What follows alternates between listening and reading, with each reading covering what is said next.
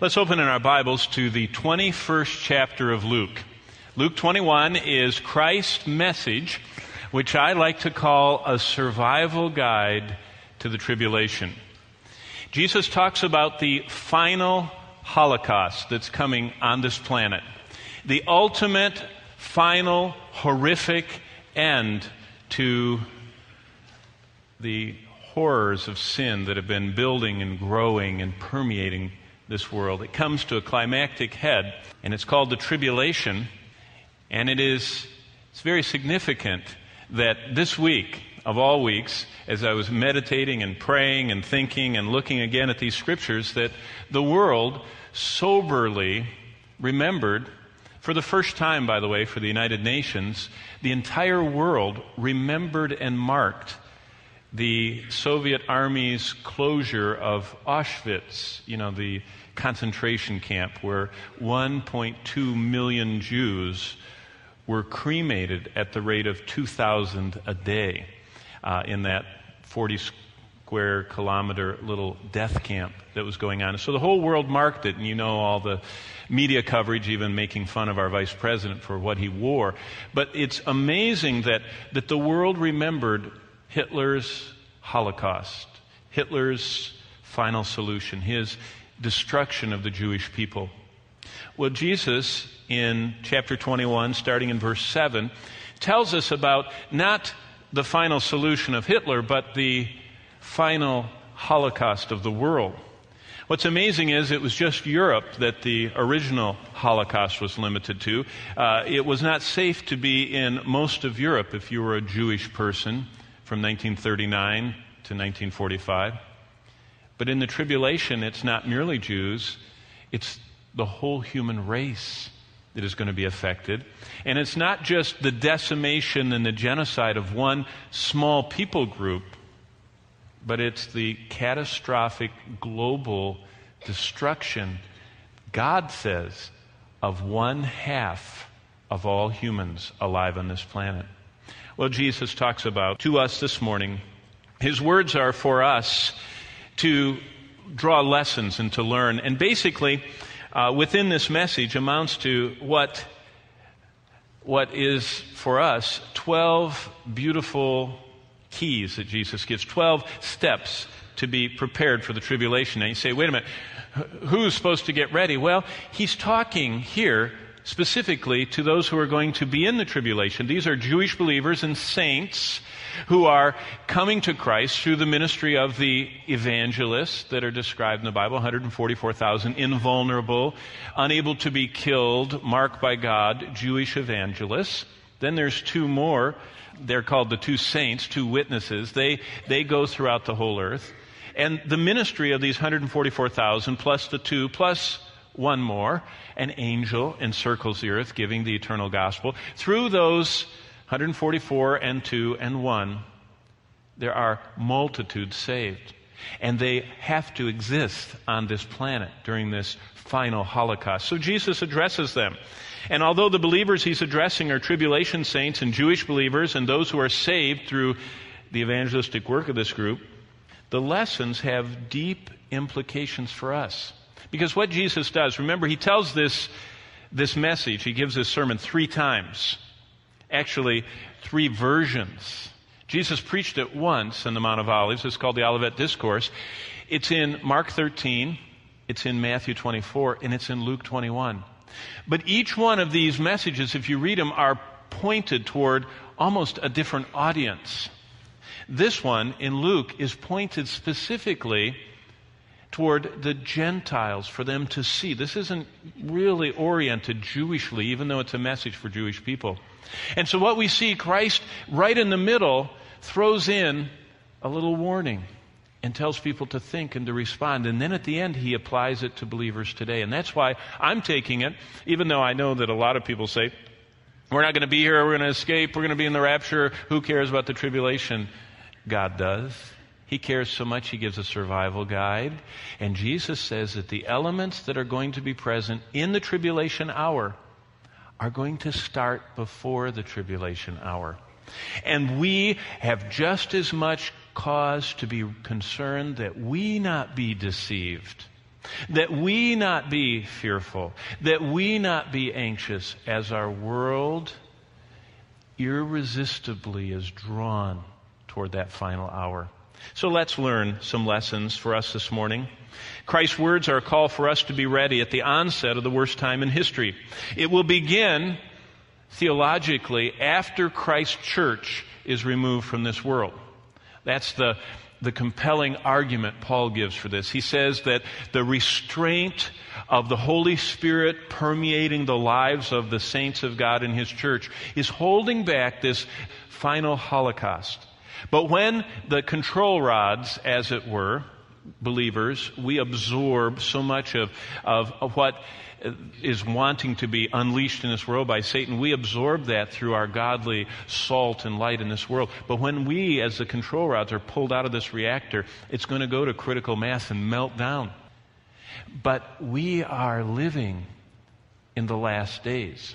I'm thankful I can say that with certainty because it says in Hebrews 1 2, the last days began when Christ proclaimed the gospel on earth. And so the last days actually began 2,000 years ago. And if they began 2,000 years ago, we're later in the last days than, than they were then. And Paul was so anxiously looking for Christ's return. But the climate of the tribulation is already here. What we're going to see this morning, all of those elements are already here. In fact, this week, this week, some scientists in some secret location on this planet in a very high tech laboratory, for the first time ever, combined human genetic material with that of an animal. And they are starting to form these animals that will grow human organs inside of them. Now, this was reported in the National Geographic website because they think it's neat because it harkens back to mythology. But I told Bonnie, I said, you know, the last time there was genetic engineering in the human race, God destroyed the entire world because He said, I will not allow you to tinker with immortal souls. I will not allow you to alter so they're no longer human and they're something else. You know that event that was called the flood of Noah. Because the angels were coming in and corrupting the human race and causing these half human, half demon creatures, God destroyed the earth. Everybody but eight people. You know, if you read the scriptures, you know He's going to destroy the earth again the next time that happens. This week, they succeeded in putting and fusing together human genetic material. It was only in a guinea pig but they did it. And they figure if they keep doing this in larger animals, they can grow spleens and livers and hearts and lungs inside these creatures and surgically remove them and cause humans to be able to have extended life because you can get a new anything. The last line of the National Ge- Geographic article was it said, But what the, the disturbing question that remains is what will happen if one of these animals begets something that looks human? It said, What would we do with that? God says, when you see the climate of the end coming, get ready. And so the tribulation may not be as far off as some people want to think. And also, it might be that we are not completely removed before the storms that precipitate the tribulation begin. We might be living in those moral and geographic and climactic storms. They're going to characterize the end. So, as people across the world mark the 60th anniversary of the liberation of the grisly death camp, complex known as Auschwitz, the whole world focused briefly, and the whole United Nations focused briefly on that event. And so, since Christ uses current events to illustrate future truth, I thought if you listened to the news at all this week and heard about Auschwitz, maybe you've thought about that. Maybe you've seen some of those images of those bodies stacked like cordwood as they didn't have enough time to burn them all up before the Soviet army came and they found all these bodies laid out outside the crematoriums. Did you know 1.2 million Jews were in a horrific way executed in that little tiny six mile by four mile camp that was called Auschwitz? They killed them every way possible. They boiled them, they electrocuted them, they froze them to death, they kept cutting parts of them off till they died. They did everything they could think of. They were just so, just so hateful and demonic. And then they would, well, they gassed most of them, but they would burn them in these ovens. 1.2 million people died. The first person that died died as a test with the gas. The last one died because the Soviet artillery was making it and they just turned off the ovens and turned off the gas chamber. And so the period that that thing operated was exactly three and a half years, exactly 42 months. I think that's significant if you know anything about Bible prophecy. Let me read to you what the secular newspaper said. Because Hitler's Holocaust, horrible as it was, murdering over six million Jews alone, pales when compared to the final Holocaust of Luke 21 that we're looking at this morning. If you watched the news this week, you saw images of what were often used to remind us of the final solution. Here's what the images we saw the newscasters talked about the one and a half million people who died at Auschwitz, of whom 1.2 million were Jewish. That means one fifth of all the six million Jews exterminated by Hitler died in that one little camp. Six miles by four miles called Auschwitz. Other groups of people also died, although very few in comparison to how many Jews died. Those that were also exterminated were Polish political prisoners, Soviet prisoners of war, gypsies, and people with disabilities and those who were rebels against the Third Reich. But mostly, 95 to 98 percent were Jewish people that were murdered. If you listen this week to the incredible comparison, you'll see what I mean. They compared this to a horrific world event. But I sat back and watched the figures. They said this Auschwitz killed its first person on September 3rd, 1941. When they opened the gas chamber, stuck in a poor unsuspecting person, they said they were going to debug them, delouse them, and they shut the door and they cranked up the little hair dryer thing that went on these crystals that produced this gas, and immediately the person convulsed and vomited and died. Then they had fired up the ovens and they tossed them in there and saw how quickly they could cremate them. And immediately the German engineering minds calculated that they could do 2,000 cremations a day if they left the oven on 24 hours a day. So they began bringing railroad cars of Jewish people. The last person was cremated on January 27, 1945. That was exactly 1,242 days or 42 months or three and a half years. 1.2 million Jews died. Now, here's the comparison. Most scholars see the first half of the seven year period of the tribulation, the final period of Earth's history, to be relatively normal. It's the second half that seems to have the incredible destruction, demon armies, and death. So in Bible times, theologically, the Great Tribulation lasts three and a half years or 42 months.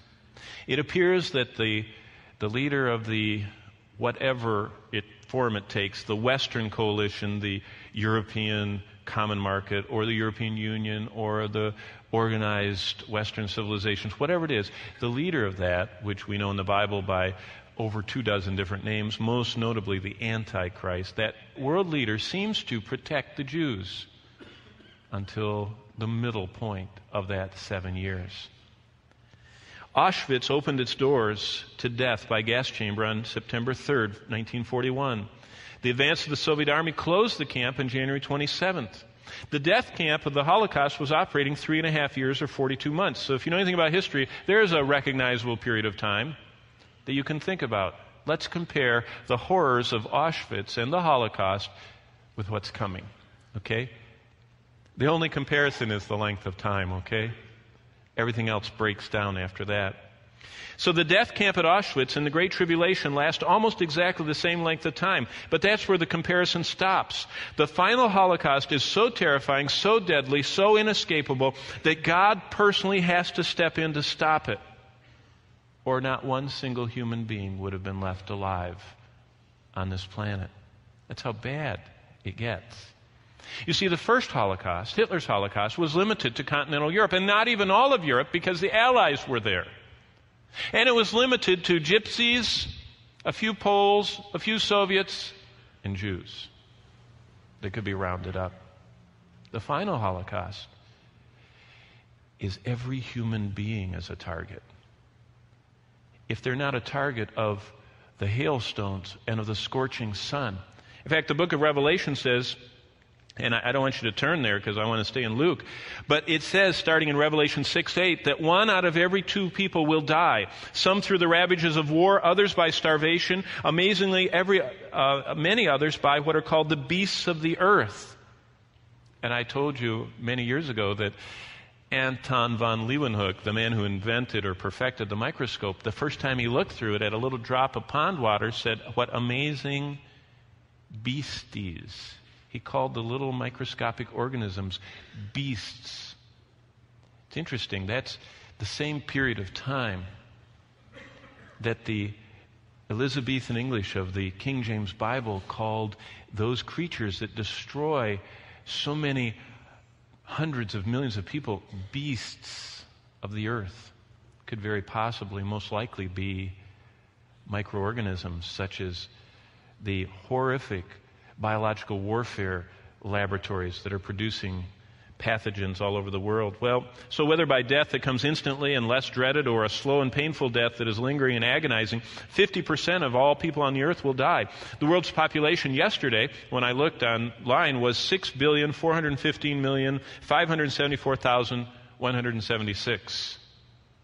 So if that population holds, when the tribulation starts, that means that 3.2 billion people will die in 42 months. How many is that? Well, if you just take your spreadsheet, if you add it up, it means that 79 million will die every month. Two and a half million will die every day. Auschwitz only managed, with their ovens running 24 7, they only managed to kill 1.2 million Jews the tribulation is going to see 2.5 million people die every day. Two and a half million a day for 42 months. As I said when I mentioned that last time in the tsunami, how are they going to bury all those bodies? How are they going to bury the equivalent to 11 times the population of the United States that are going to die? God says, not the UN, not, not the prophetic conference. The Bible says half the population of the world will die in that short period of time. It's an unbelievable thing to think about. In the Great Tribulation, two and a half million die every day for 42 months. In Auschwitz, less than a thousand died each day. That means 2,500 times as many people will die every day during the tribulation. Or to put it in Auschwitz terms, the number of people that died every day at Auschwitz will die every 30 seconds around the planet. In other words, every 30 seconds, a thousand people will be dying. Every 30 seconds, a thousand people will be dying. And that will go on endlessly. It will be like living in a death camp to be on this planet during that time. That's not all that's happening. Not just will 11 times the population of the United States, if you can imagine that, perish, but one third of all living creatures, the vegetables and also the, the things, the, the vegetation, the creatures in the sea, all grass, every tree, everything green. Revelation 8 7 says a third of all that will be destroyed. Not just the people, but the plants the sun and moon will be darkened. Nature goes into revolt. The gates of hell. I mean, if it isn't bad enough to, to have climactic changes and to have stuff burning up and have people dying, it says in Revelation 9 that God will open the gates of hell and hordes of these locust creatures the size of horses will come on the earth and they will be allowed to sting men like scorpions and the pain of one sting will last five months and the Bible says people will beg God to let them die and he won't let them die. And they will be screaming and writhing, and everybody will be wondering where the next horse sized monster is going to come crashing in and sting them. There'll be worldwide famine like nothing the world has ever seen. That's Revelation 18:8. There will be a world war so bloody that the blood of those killed in battle flows 200 miles, and it will splash as high as a horse's bridle. So we're talking about four feet high splashes. Can you imagine next time you walk through a mud puddle, do what a kid does and splash it and see how hard and how much water you have to have to have it splashed to be four feet high. That's how much blood will cover the ground at that final battle. All told, during the Great Tribulation, as many as half of all the people on the earth will be killed. Now you see why God refers to what he plans for the church as the blessed hope. That's why Paul shared that with those suffering. And that's why it is such a blessed hope. It's because the tribulation is so horrible. So that means that true believers who are born again this morning will escape everything, right? Yes, exactly. That's what the Bible says. We will miss every part of the tribulation, but we will probably go through some of the world's darkest days. It will be the darkest before the storm starts it's ever been, and that's where we're headed. And we don't know the day or the hour He's coming. And so all the elements that I'm going to point out to you right now in Luke 21 are ones that are the survival guide for the people that find themselves inside the tribulation, but they're a great preparation for us on the other side. For us who have to be here right until it starts. And it's a wonderful lesson Jesus gives us. In Luke 21, we see the end of everyone's life as it was. Time stops, life ends, nothing is the same again. Christ's coming at the end of that will simply reveal what people really were. Well, let's look at Christ's 12 step survival guide to them and to us. And what I'd like you to do is turn to the end, and that's what we're going to start with, and that's verse 36. And I want you to really think about this because these are Luke 21 36 is Christ's address to us, okay? You follow along in your Bible, and I'm going to read it. Jesus says, Watch, therefore, that means don't get hypnotized. Watch therefore and pray always. We saw that word pray is that unique word daomai, which means to beg. Beg God that you may be counted worthy to escape all those things that are coming. That means, if you want to put it into 2005 language, you better make sure you're really saved this morning. Make sure that you've said that God so loved me, not just the world, me that he gave his one and only Son, the Lord Jesus Christ, that because I believe in him, I will not perish, but I have everlasting life. Make sure, Jesus said, that you're counted worthy by his grace and through his mercy to escape these things which will come to pass and to stand before the Son of Man. Let's bow and ask the Lord to open his word to us. Father in heaven, thank you that we can look at your word. It's so relevant. The world marked Auschwitz. We marked this morning the final Holocaust. We thank you that we know you, and those who know you will be kept from that hour. But Lord, there's a world around us that does not know you. And I pray that we would see from this survival guide how we can be more effective witnesses in the days leading up to the end. And Lord, until you come or call, may we be your good and faithful servants, counted worthy to someday stand before you and to hear you say, well done. You were a good servant to me. I left you on earth to obey and to do what I left you to do, and you did it. Help us to know what you want us to do and to do it. In the name of Jesus, we pray. Amen. The dangers Jesus warned of, starting in verse 8, are what the church has faced from the beginning. There have always been deceiving teachers. There has always been persecution. There have always been disasters. In fact, I was, I was just reading Wesley's sermon in, in the Sunday after the gigantic tsunami hit Portugal. There was an earthquake out in the ocean, and a gigantic wave, like we saw on Christmas Day and following, crashed into Portugal. And earthquake follow, or preceding it, and then the wave that followed it, and it totally destroyed their cities all along the harbors of Portugal, along the Atlantic coast. And, and, Wesley was preaching a sermon about the second coming of Christ, and it was interesting that he used Luke 21 as his text. And he says we ought to learn from the earthquake in Lisbon and the tsunami of 17, whatever it was, 21 or 41. He says we ought to learn from that what the end of the world is like. That's because there's always been disasters. There's always been earthquakes. There's always been tsunamis. We're not supposed to go out and say, that's the one that means we're in the end. What we're supposed to do is to say, how does God want us to live if we are in the end? And that's what Luke 21 is. And basically, Jesus says this in verse 8. He says, There will be religious deception. But look what he says. Take heed that you not be deceived. What does Jesus say? Be not deceived.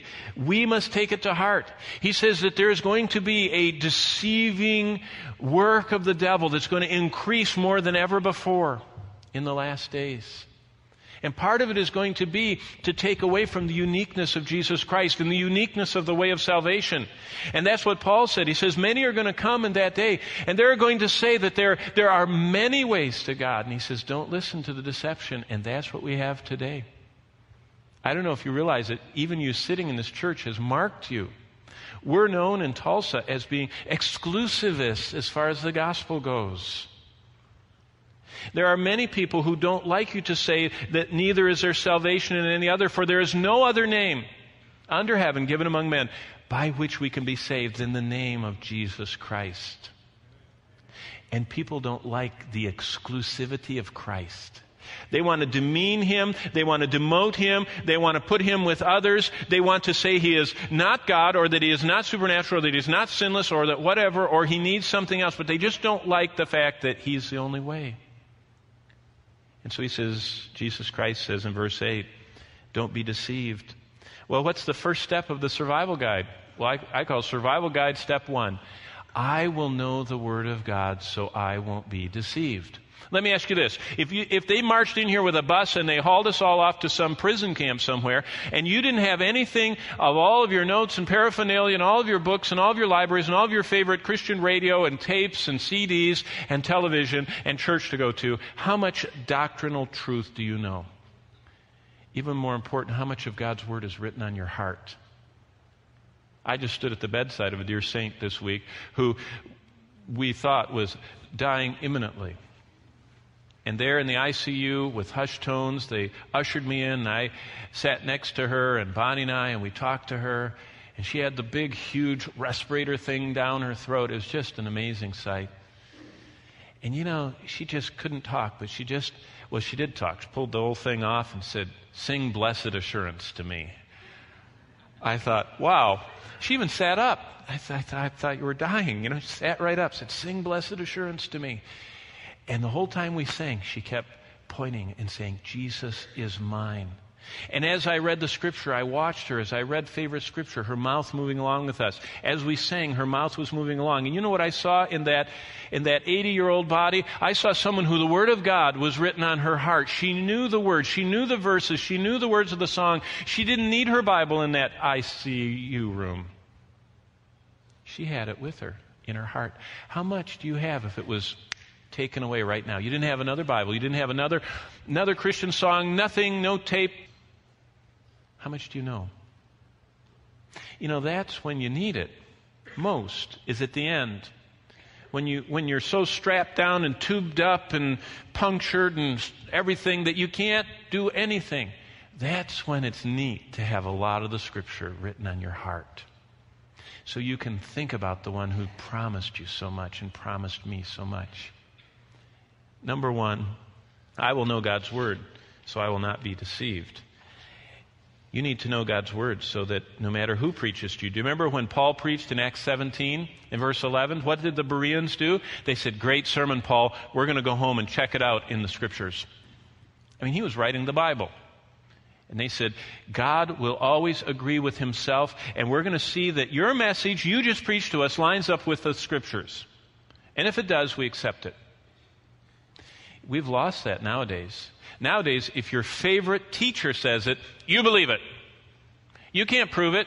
You can't find it yourself in the Bible. You don't even know where he got it from. But if he said it, you believe it. And that's why we have so many denominations and so many divisions in the church because everyone's following someone instead of everyone following the living and abiding Word of God. Most people couldn't defend themselves out of a wet paper bag doctrinally. They couldn't because they don't know the Bible. They know what they've been taught all their life. They know what the, they said in their denomination or in their group or their sect or whatever, but they don't know what God says. Step number one I will know the Word of God, so I won't be deceived. Now, there is a place for the teaching the Word of God, and that's what I'm doing this morning. But there is a responsibility on your side of knowing and examining and finding and sorting through and holding fast to what God's Word says. Second verse I want to show you is verse 9 because there's also going to be global distress. He says, when you hear of wars and commotions, don't be terrified. The second thing Christ says is, don't be anxious. And we ought to take it to heart. I mean, I see people living in constant anxiety. I mean, they're anxious about it's going to snow, it's going to ice, or you know, we're going to have, you know, Americans going to lay off more people, or or the dollar's dropping. Yes, all those things are going to happen, and worse. I mean, if you're following prophecy, the Bible says that the kings of the East are going to be the major players in the end. In fact, the historic word for China is the word that Isaiah uses when he talks about the tribulation. I mean, it's almost for certain China is the ascending power coming this week. The Central Bank of China didn't do it, but they began making sounds that they're going to detach the Chinese currency from the dollar. Now, that's going to cause an amazing effect on our world. There are trillions of dollars out there. And everybody thinks those dollars are worth so much because they're pegged to different currencies. Now, not anytime soon, don't get rid of your dollars, but the tribulation does not see us as the, as the superpower. It sees Europe, it sees China, it sees the Islamic countries, it doesn't see us. So, something we should think about is not to be anxious. Survival guide number two I will trust God's promises so I won't live in a fearful life. You don't have to worry about how to best protect your money. Give it to the Lord. I don't mean you have to put it in the offering plate. I mean consciously say, God, all I have belongs to you. So it's not any longer my car that I have to worry about that someone's going to steal or break into or get my stereo out of. It's yours. And it's no longer my house that I have to worry about having the finest security system and a gun in my dresser drawer and, you know, and locks and bars. It's your house. It's no longer my retirement plan that I've got to stay awake all night moving it between funds to make sure that, that I'm in a growth one so that I'll have enough at the end. But I say, Lord, it's yours. You know, there is the most peaceful life possible of knowing that we're just stewards of someone else's stuff. You know, a lot of ulcers and a lot of stress and a lot of anxiety comes from me trying to guard my stuff. And God says, It's not your stuff, it's mine. Why don't you give it back to me? And take no thought for the morrow, what you shall eat, what you shall wear, etc., etc. But seek first the kingdom of God, God ruling in your life, in your family, in your marriage, in your job, in your finances, in your time. Seek first that. And he said, I'll add everything else to you. Survival guide number two, I'll trust God's promises so I won't live a fearful life. Number three, look at verse 13. Here's the third element. There's going to be religious persecution. He talks about it in the verses that I skipped over, and personal persecutions. And what does Christ say? He says, Don't be afraid. Verse 13, it will turn out for an occasion for a testimony. Therefore, settle in your hearts to meditate not beforehand what you will answer. For I will give you a mouth which your adversaries will not be able to contradict or resist. Don't be all afraid and, and worried about what you're going to say when you're confronted because of your love for Jesus Christ. Jesus says, Be not afraid. It's his admonition to us, and we have to take it to heart. You know what we should do is what verse 13 says, and that's the third step of the survival guide that Jesus lays down. I will speak for Jesus in any circumstance. He says, Don't worry. I will give you, verse 15, a mouth and wisdom which all your adversaries will not be able to contradict or resist. You know, I have a real good friend who tells me, I love it every time your printer breaks down and you come on Sunday night and you don't have your notes. I don't usually tell you that, but you know, that happens from time to time. And he says it's always the best sermon. Because he says you just speak from your heart. Did you know that's what Jesus is saying? He's saying, don't be afraid when they haul you in before the magistrate or the court or whatever. And you have to, to explain what you believe because he says, I will give you an answer. You know what that means? You can try that out this week. Stand up for the Lord and say, Lord, I will speak for you in any circumstance. In fact, the book of Acts, the apostles got roughed up. They hauled them in, remember, imprisoned them and threatened and warned them and everything, and then they let them go. And they went back to see the believers, and it says this in Acts 4.31. When they prayed, the place they were assembled was shaken. They were all filled with Holy Spirit, and they spoke the word of God with boldness. Emphasis filled with the Holy Spirit. Our job is to make sure that we are emptied of self so that God can fill every part of our life. I already have all of God. The problem is, He doesn't have all of me. And I would assume that's your problem too. We all have to be constantly surrendering more areas of our lives. We all have to be giving all of ourself, our attention, our mind, our affections, our desires, our hopes and dreams, our, our secret desires, all to Him so He can fill everything.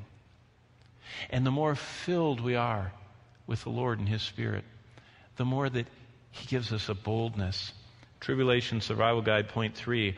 I will speak for Jesus in any circumstance. Uh, look at at uh, verse 16. You'll be betrayed even by parents and brothers, relatives, and friends, and they will put some of you to death. Wow. Hey, this is pre tribulation, by the way. This is what the church has gone through. This is, the, this is what's going on everywhere outside of our country, basically, in the world. People are being betrayed. They're being sold out. They are being horrifically, I mean, read the Voice of the Martyrs publication. It's free and it's from right up the road. And you can get it from right, I mean, it's a local ministry in Bartlesville.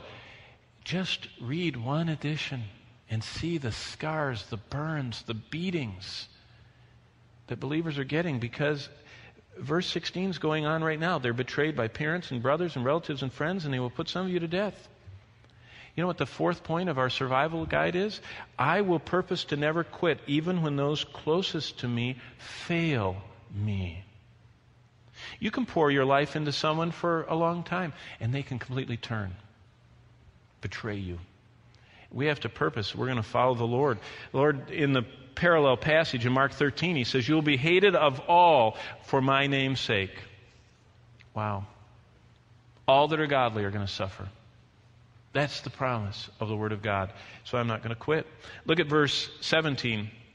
He says, You'll be hated by all for my name's sake. I expect, fifth point, life is going to be hard and full of trials. Right now, it doesn't harm us to be a Christian. When I used to work in Eastern Europe and take Bibles in in the 70s and the early 80s, a Christian living in Eastern Europe behind the, the Iron Curtain could not go to the best university unless they stepped away from their testimony of faith in Christ. In fact, you couldn't go to any professional, you could not get any doctoral level training as a born again Christian in the Soviet bloc and in the, the uh, Eastern European nations. You consciously, when you came to Christ, lost your privilege of advancement. Now, let me ask you if the big schools say, now we don't want any of this, this exclusivism, unless you will say there are many ways and not just Christ, unless you'll say that, that it's okay to be homosexual and that, that a murder of the unborn is okay. And they start tagging doctrines that the Bible is clear on, and they say you're going to have to not believe those things to come into our higher education.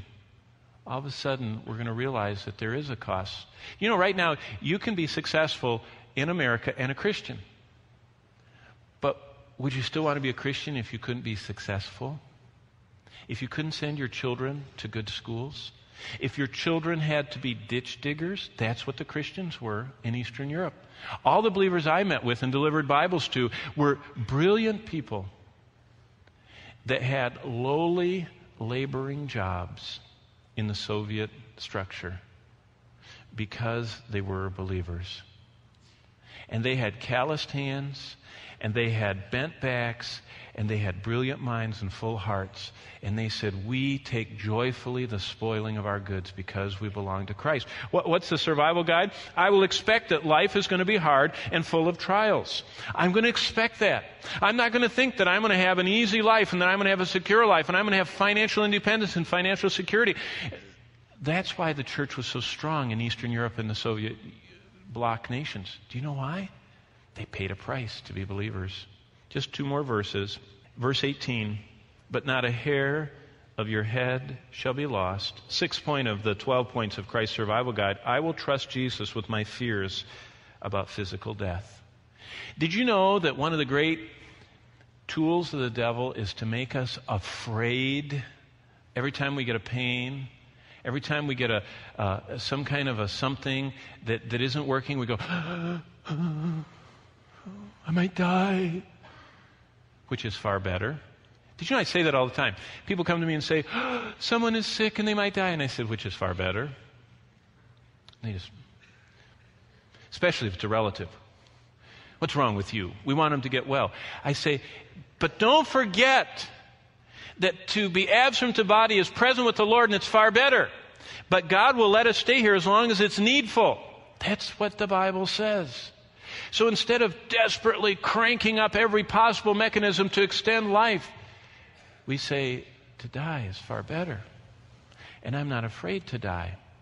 And God has appointed a day. Psalm 139 says, Every day of my life is written in His book. And it says in Hebrews 9 that He has set an appointment for me once to die. And I cannot hasten and I cannot retard that. I cannot hold it off and I cannot speed it up. What I can do is redeem the time between right now and whenever that appointment is. And so, number six, I will trust Jesus with my fears about physical death. Because Psalm 23 says, The Lord is my shepherd, I shall not want. He makes me lie down in green pastures. He will lead me beside the still waters. Why? Because even when I walk through the valley of the shadow of death, I will not fear evil. Because the same one that's been with me through life will be with me through death. So, how do we get ready for the tribulation, for the storms before the storm? Number one, I will know God's word so well that I won't be deceived. And number two, I will trust God's promises so much I won't live in fear of even temporary little things. And number three, I will speak for Jesus in any circumstance. Wow, will he be happy for that? He's got us on this earth, and most Christians are like secret agents. They're like the Mossad. Nobody knows who they are. They're just out there. And they're, whole, they're, they're a mole, you know, underground. No, he wants us to speak up. I mean, all the wackos speak up. Why can't we who know the truth declare it for Christ? Number four, I will purpose to never quit even when those closest to me fail me. Number five, I will expect life is going to be hard and full of trials. And, and so when the bumps start coming, I'm not going to, I'm going to say, wow, I'm being refined. I'm getting, coming like gold. Number six, I will trust Jesus with my fears about physical death. You know, the last one is what we're going to go with. Look at verse 19. By your patience, possess your souls. This is a fascinating construction. You know what it basically means? I'm going to give my emotion into Christ's care and live in the peace that He promised me. Someone says, um, What do you mean by being peaceful? I have had to learn that this scripture is true, I can give my emotions into Christ's care so I can live in the peace He gave to me. Do you? Do you, when, when you're overwhelmed, your spirit is overwhelmed within you, do you say, Lord, lead me to the rock that's higher than I am? Lead me into your tower of refuge. Lead me into your fortress. My soul is cleaving to the dust. Quicken me according to your word. It's nothing magical, it's nothing other than faith in the one who said, In by your patience possess your souls. Don't allow your emotions to cripple you.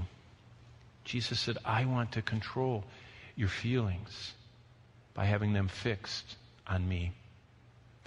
Are you ready for the final Holocaust? The first step is believing on the Lord Jesus Christ and being saved. But once you've done that, it's this survival guide. Let's bow together. Father, thank you for the world marking the first Holocaust. Thank you, Lord Jesus, for preaching this sermon about the final Holocaust. Thank you that we know ahead of time that this world is going to be a death camp with thousands dying every second. But Lord, You've left us here to influence as many people as we can with the glorious gospel of Jesus Christ. And to live such lives that the world looks at us and takes note of us and knows that we are those who are with you and you are with us. We believe. Help our unbelief. Capture our minds. Help us to realize we're just passing through and that you want us to give all we are to you to use for your glory until you come or call. Help us in that mind to be ready for whatever comes, to speak for you, to believe in you, to trust you, to give our emotions to you, and to find our security in Christ, in Christ alone, in whose precious and holy name we pray. And all God's people said, Amen.